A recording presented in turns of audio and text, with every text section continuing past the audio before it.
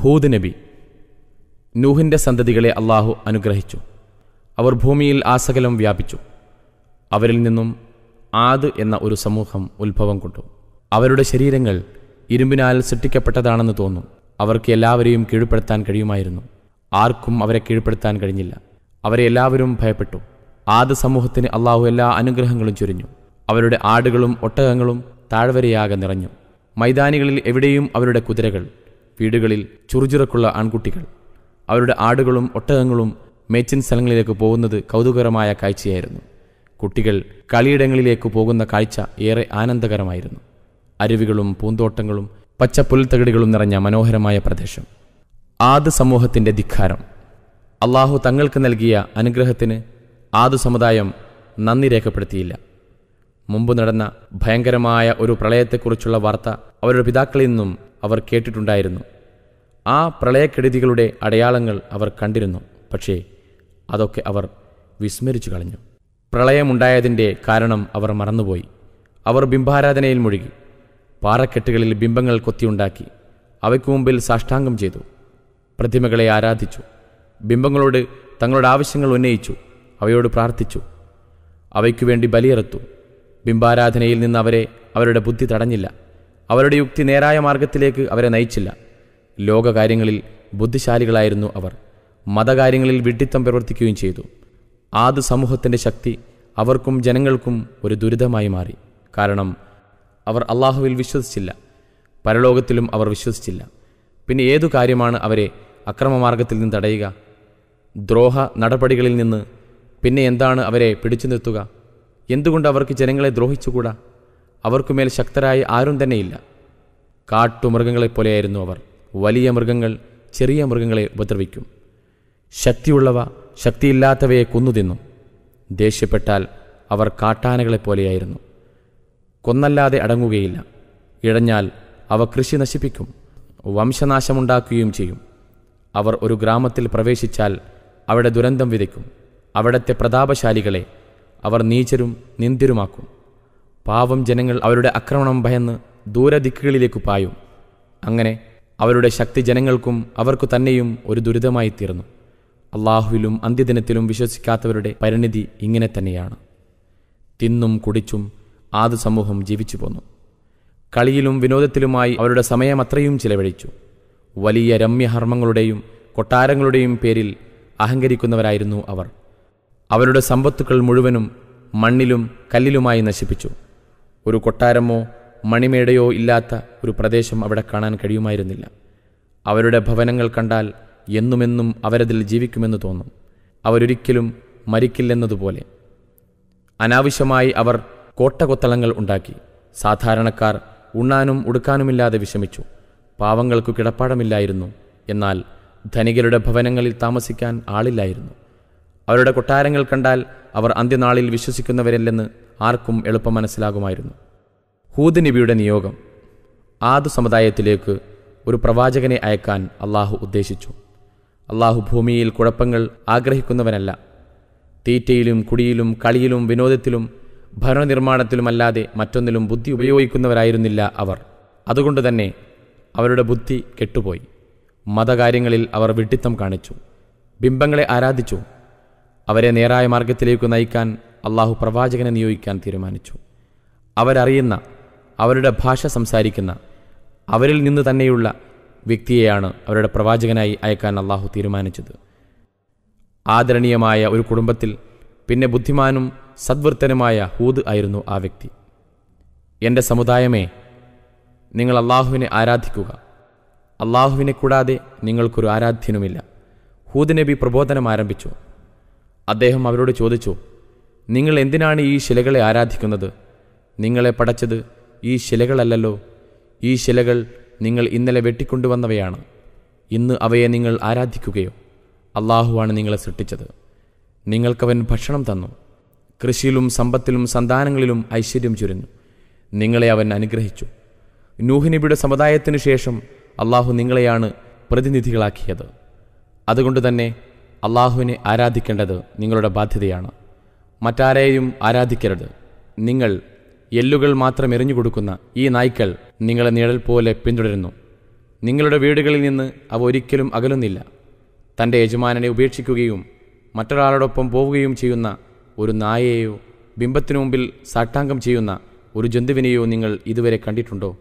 മനുഷ്യൻ മൃഗത്തേക്കാൾ നീചനോ അതോ ശ്രേഷ്ഠനോ? ആ സമുദായം തിന്നും കുടിച്ചും മതിച്ചും കാലം കഴിച്ചുകൂട്ടി ഈ ലോകജീവിതം കൊണ്ട് അവർ തൃപ്തരായി. അവരതിൽ മനസമാധാനം കൊണ്ടു. ഹൂദനബിയുടെ വാക്കുകൾ സ്വീകരിക്കാൻ ഇടുങ്ങിയ അവരുടെ ഹൃദയങ്ങൾക്കായില്ല. അവർ അന്യോന്യം പറഞ്ഞു ഹൂദ് എന്താണ് പറയുന്നത്? അയാളുടെ ഉദ്ദേശം എന്താണ്? അയാളുടെ വാക്കുകളൊന്നും നമുക്ക് തിരിയുന്നില്ലല്ലോ. അവർ ഏകസ്വരത്തിൽ പറഞ്ഞു അയാളൊരു വിഡ്ഢിയാണോ? അതോ ഭ്രാന്തനോ? സമൂഹത്തിലെ ശ്രേഷ്ഠരായ വ്യക്തികളെ ഹൂദ് നബി വീണ്ടും അള്ളാഹുവിലേക്ക് ക്ഷണിച്ചു. അതിനുത്തരമായി അവർ പറഞ്ഞത് ഇങ്ങനെയാണ്. നീയൊരു വിഡ്ഢിയാണെന്നാണു ഞങ്ങൾ കരുതുന്നത്. നീ കള്ളം പറയുന്നവനാണെന്നു ഞങ്ങൾ അനുമാനിക്കുന്നു. അവരോട് ഹൂദ് പറഞ്ഞു എന്റെ സമുദായമേ ഞാൻ വിഡ്ഢിത്തം പ്രവർത്തിക്കുന്നവനല്ല. അള്ളാഹുവിന്റെ പ്രവാചകനാണ് ഞാൻ. എന്റെ രക്ഷിതാവിന്റെ ബോധനം ഞാൻ നിങ്ങൾക്ക് അറിയിച്ചു തരുന്നു. ഞാൻ നിങ്ങൾക്ക് വിശ്വസ്തനും ഗുണകാംക്ഷിയുമാണ്. കനിവോടും ആർദ്രതയോടും കൂടി ഹൂദ് അലൈഹിസ്ലാം തന്റെ സമുദായത്തെ ഉപദേശിച്ചുകൊണ്ടിരുന്നു. അദ്ദേഹം പറഞ്ഞു എന്റെ സമുദായമേ നിങ്ങളുടെ സോദരനാണ് ഞാൻ. ഇന്നലെ വരെ ഞാൻ നിങ്ങളുടെ കളിത്തോഴനായിരുന്നു. എന്നെ നിങ്ങൾക്കറിയില്ലെന്നോ? എന്റെ സഹോദരങ്ങളെ നിങ്ങൾ എന്തിന് എന്നെ ഭയക്കണം? എന്നെ കാണുമ്പോൾ എന്തിന് നിങ്ങൾ പിന്തിരിഞ്ഞോടണം? നിങ്ങൾക്ക് ഞാൻ യാതൊരു ധനനഷ്ടമുണ്ടാക്കുകയില്ല. ഞാൻ നിങ്ങളോട് പണമോ സമ്പത്തോ ആവശ്യപ്പെടുന്നില്ല. എന്റെ പ്രതിഫലം അള്ളാഹുവിങ്കിൽ നിന്ന് മാത്രമാണുള്ളത്. കൂട്ടരെ അള്ളാഹുവിൽ വിശ്വസിക്കുന്നതുകൊണ്ട് നിങ്ങൾക്ക് എന്താണോ ഭയപ്പെടാനുള്ളത്? അള്ളാഹുവിൽ വിശ്വസിച്ചെന്ന് കരുതി നിങ്ങളുടെ പണമോ സമ്പത്തോ നഷ്ടപ്പെടില്ല.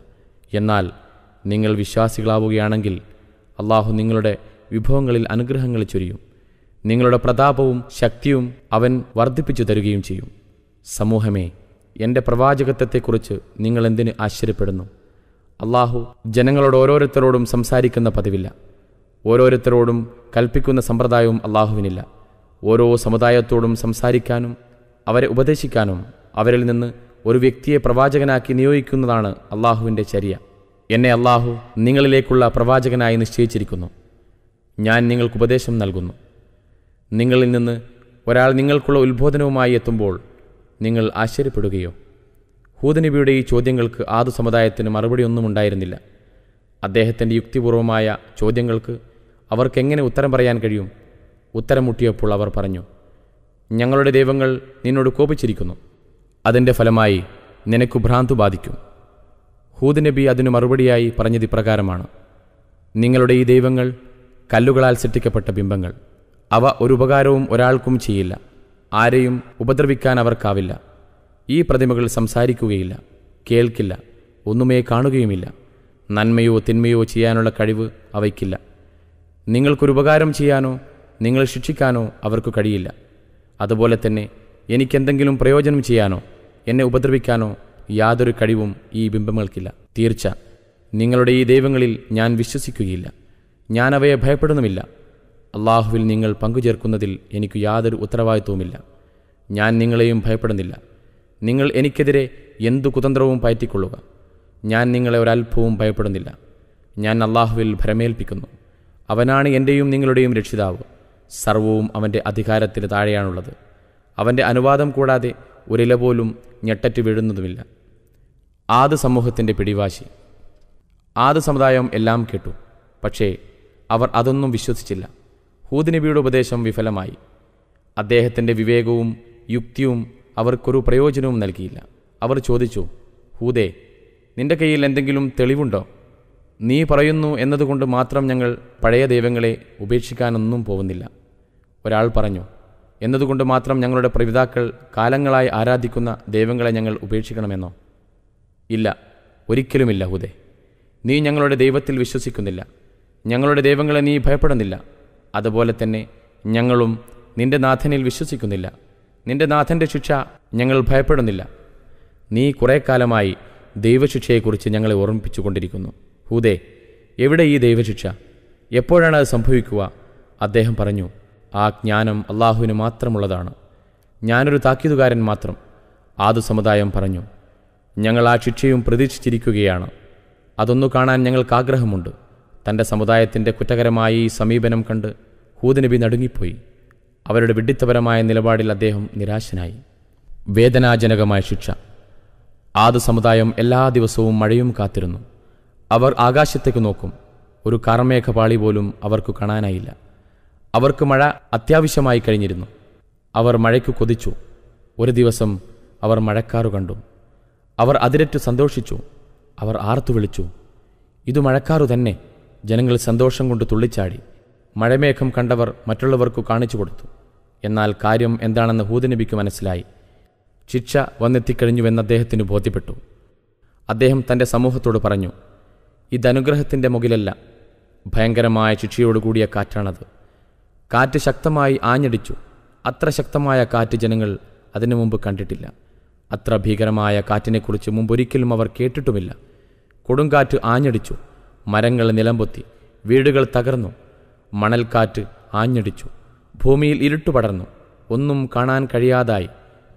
പേടിച്ചരണ്ട് അവർ അവരുടെ വീടുകളിൽ പ്രവേശിച്ചു. വാതിലടച്ചു. കുട്ടികൾ ഉമ്മമാരുടെ ശരീരത്തിൽ അള്ളിപ്പിടിച്ചു. ജനങ്ങൾ ചുമരുകളിൽ ഒട്ടിപ്പിടിച്ചു. കുട്ടികൾ വാവിട്ട് കരയുകയാണ്. സ്ത്രീകൾ അട്ടഹസിക്കുന്നു. കരളയിക്കുന്ന പ്രാർത്ഥനയിലാണവർ. അവർ സഹായം അഭ്യർത്ഥിച്ചുകൊണ്ടിരിക്കുകയാണ്. അള്ളാഹുവിന്റെ കൽപ്പന എഴുത്തിക്കഴിഞ്ഞു.